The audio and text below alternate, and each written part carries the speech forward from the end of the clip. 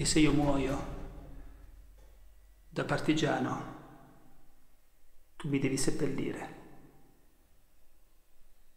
E seppellire la sua montagna, sotto l'ombra di un bel fiore.